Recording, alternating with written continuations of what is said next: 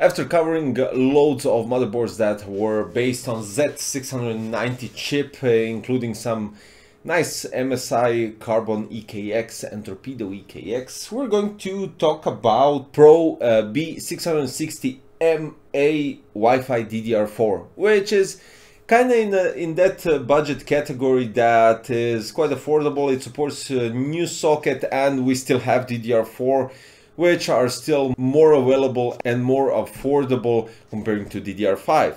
So uh, we're going to take a look at this one. It should be quite interesting because we're going to pair it up with Intel Core i5-12600K and to get some speed benchmarks and see what we can expect from this board of course. Let's start immediately with the I.O. overview. We have two USB 2.0, we have mouse and keyboard PS2 connection, two display ports 1.4 and we have two HDMI 2.1. We have USB 3.2 generation 1 5 gigabits per second type A, actually two of those, two USB 3.2 generation 2 10 gigabits per second type A, 2.5G LAN, uh, Wi-Fi antenna connectors and we have line in, line out and microphone for the audio connections.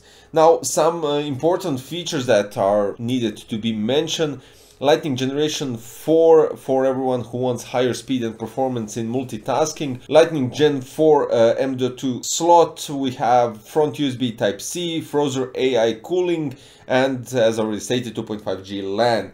Now, this motherboard, as you already know, supports 12th generation Intel Core processor. The LGA is 1700 and we have Intel B660 chipset.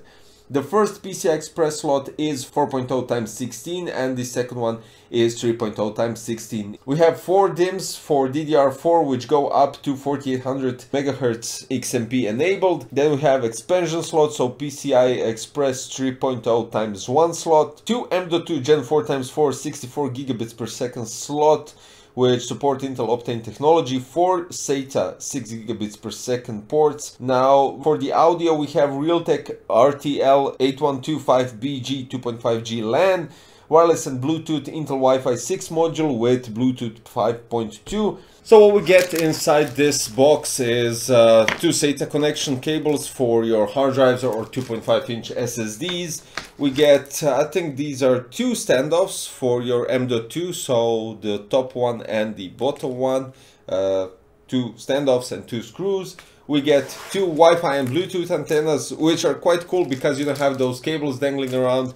You just connect them directly, twist them and adjust the angle. And finally we get the I.O. cover which is in hideous silver color. There's no artwork, there's nothing on top of it. And don't forget to place it inside before installing your motherboard. Now checking out the board, it has uh, two huge passive heatsinks on the VRMs. You have a passive heatsink for your top M.2 SSD and uh, basically that's it. There's nothing too much going on. At the top we have one 8-pin and one 4-pin EPS connection for your CPU. Here standard 24-pin. 4 PWM connections for your fans, which is, I don't know, I would expect at least 5, but that's quite alright you can manage something with the splitter. Then we have uh, two J rainbow uh, connections, which means two addressable RGB 5 volts 3 pin connectors, one at the top and one at the bottom. And right near the bottom one, you have 12 volts RGB 4 pin header as well. Two USB 2.0 headers at the bottom. We have J audio at the left bottom part. Something to mention uh, that is, uh, in my opinion, quite important comparing to other, let's say, B660 or budget oriented motherboards for this socket you usually don't get EZ debug LEDs and right here we actually have four of those which is quite standard on some higher end motherboards uh, we have boot VGA, DRAM and CPU which is quite handy and quite cool to have. Now it's basically time to plug in this motherboard and test it out with 12600K and see what we can expect uh, uh, in terms of numbers, of course, how the DDR4 actually performs. Unfortunately, I don't have 4800 megahertz uh, with me, but we'll try to find some at, at least at 3600, so we can check out those. So let's dig in. Basically testing out the MSI Pro B660MA Wi-Fi DDR4.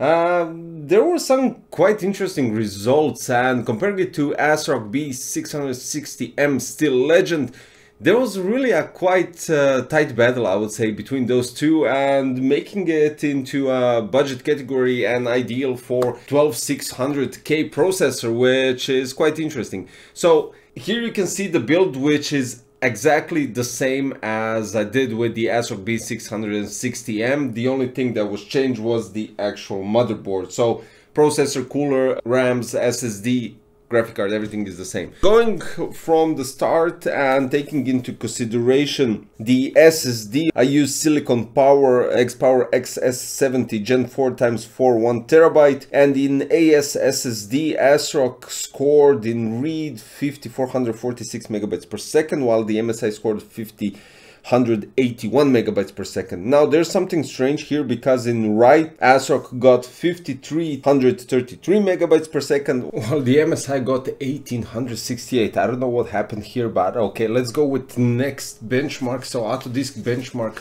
uh, for ASRock read speed 6.58 gigabytes per second while MSI 6.64 gigabytes per second and in write 5.47 gigabytes per second both. So that's cool.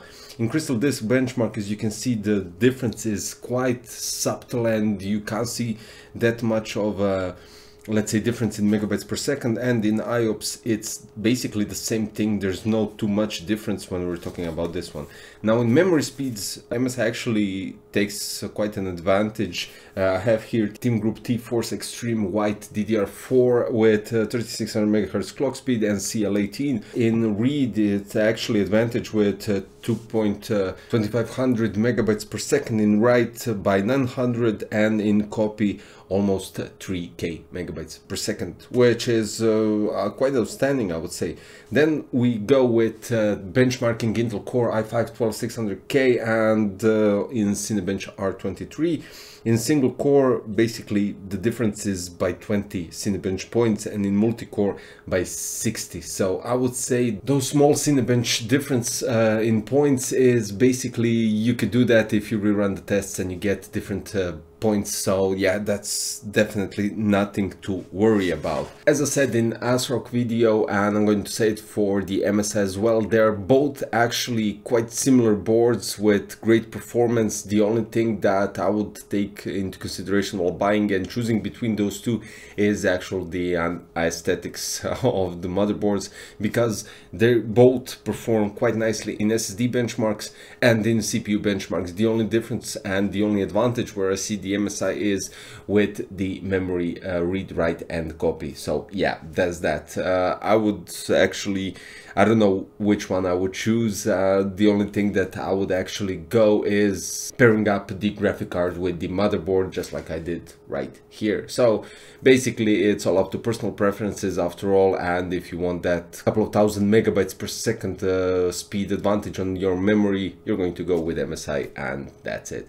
So nothing against ASRock, they both perform quite nicely and that's all there is to it. I'll put the links below for Intel Core i5-12600K and for the MSI Pro B660MA Wi-Fi DDR4 so you can check out the prices and everything else and that's about it. If you're new to the channel don't forget to subscribe, hit the like button and hit the notification bell for future content.